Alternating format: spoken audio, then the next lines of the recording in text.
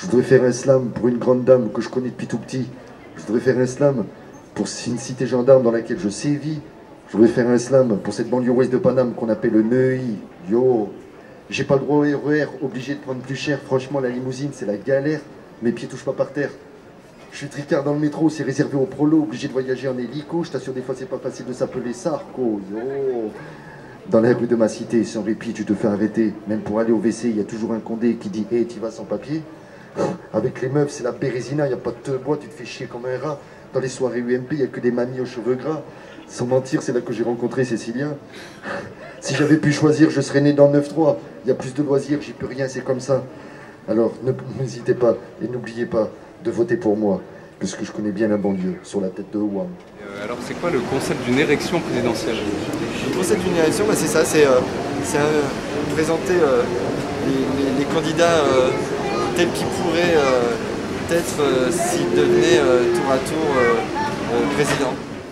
Son vote pour Ségolène.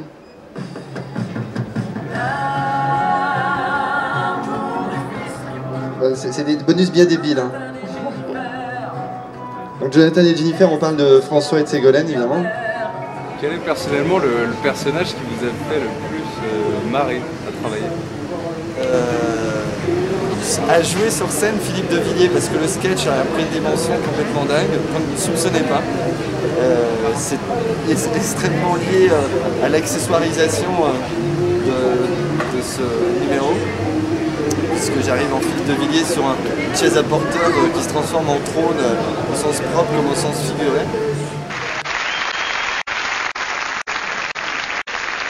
Euh, est-ce que vous avez eu des menaces, entre guillemets, pour ne pas diffuser ces canulars Parce qu'ils il touchent à l'intégrité quand même des personnalités qui nous entourent.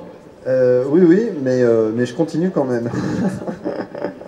C'est-à-dire, non, vraiment, sincèrement, on vous a passé des coups de téléphone en vous disant de toute façon, je vais te faire virer, tu vas manger. J'ai été viré deux fois, une fois de Rire Chanson et une autre fois du journal Entrevue. non, non, Jean-Pierre Raffarin fait intervenir le, le, CSA, ils ont, ils ont retiré de l'antenne les canulars, mais mais je continuerai quand même parce que je pense que la démocratie, c'est ça, c'est pouvoir se moquer de, de, toutes les convictions et toutes les idéologies. Je viens de recevoir des, photographies oui. sur lesquelles je figure. Mhm. Et euh, je ne suis pas en, bonne compagnie. Mhm. Et je ne sais pas qui me les a envoyées. Qu'est-ce que c'est comme euh, photographie? J'imagine que ces photos ont été faites euh, la, la, semaine dernière.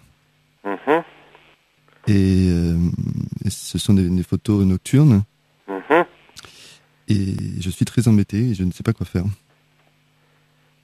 C'est quelqu'un qui fait chanter Bien, c'est présenté comme ça, sauf que il n'y a pas de mots ni de courrier qui, est joint aux photos.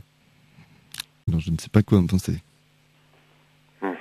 Puis en règle générale, à part euh, Jean-Pierre Raffarin, je demande la plupart du temps l'autorisation à la personne avant, donc je l'informe que je l'ai piégé.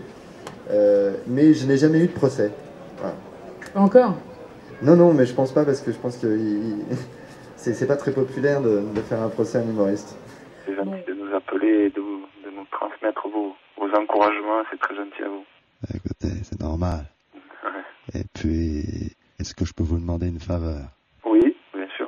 Oh, si au moment de la Marseillaise, oui. vous pouviez avoir la main sur le cœur, alors, vous me feriez le plus grand plaisir, comme en 98. On le, on le fera, on le fera. Vous le ferez? On le fera. Si toute l'équipe pouvait le faire, alors. Oui, oui, oui, oui c'est ce qu'on, on en discutera et on, et on le fera. Hein? On le fera. Eh ben, vous avez une idée de la détermination des Bleus, main droite sur le cœur. Je crois que c'est la première fois que je vois ça dans une équipe de France au football.